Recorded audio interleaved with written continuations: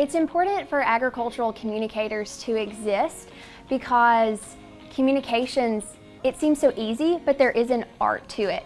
Just like farming is science, communications is art. And so you need someone who's, who's trained in that, who can flex between the science of farming and then the art of what people consume in terms of communication. You need somebody who's skilled in how to communicate that science in a way that people understand it. Ag communications is a great major to get involved in if you're interested in anything dealing with photography or writing or wanting to communicate and network with people and want to talk about agriculture and it gives you a great opportunity to tell the world agriculture's story. Farmers have a lot on their plates. They are working from sunup to sundown, and often the last thing on their minds is telling their story to the world. In agricultural communications, it's our role to equip those farmers and help represent to the world the work that they're doing to feed and clothe and fuel our economy. We can help them tell that story, whether we're at a nonprofit